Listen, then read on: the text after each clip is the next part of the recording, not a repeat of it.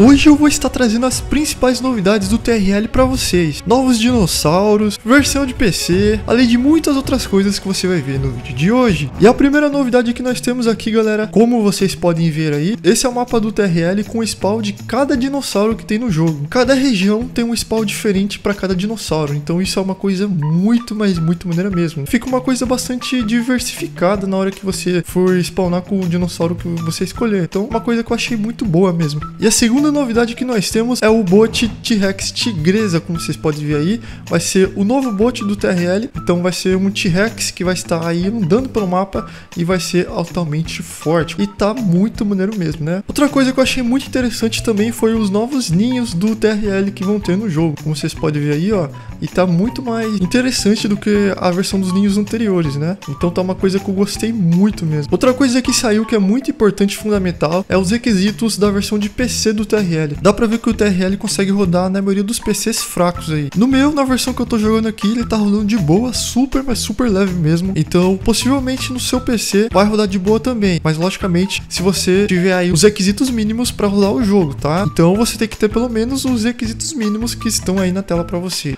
Como vocês podem ver aqui, eu tô jogando na versão de PC do TRL. Mas só que essa versão aqui ainda não é a versão finalizada, tá? Essa versão é uma versão bem cru mesmo. Só tem esse dinossauro aqui disponível pra gente tá podendo testar? Mas como vocês podem ver, olha, já tá bastante da hora essa versão mesmo, tá? Ainda não é a versão, como eu disse, finalizada. Ainda tem muita coisa pro Diego adicionar aqui, finalizar, mudar.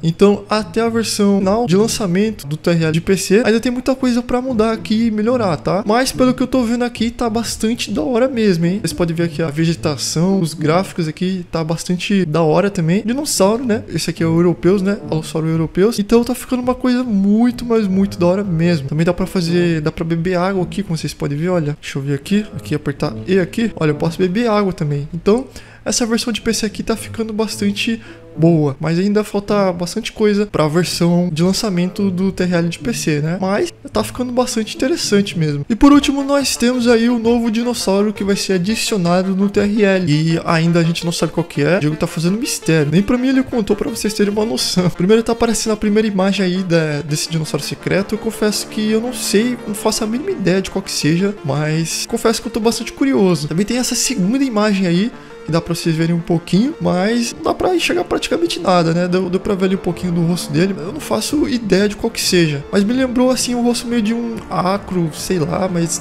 acho que não tem nada a ver, né? Mas e vocês? O que vocês acham? Vocês acham que é um carnívoro, um herbívoro? Digam aí nos comentários, porque eu quero saber a opinião de vocês. Mas esse foi o vídeo, galera. Essas foram as principais novidades do TRL. Eu espero que todos vocês tenham gostado e curtido. E até a próxima. Falou e fui!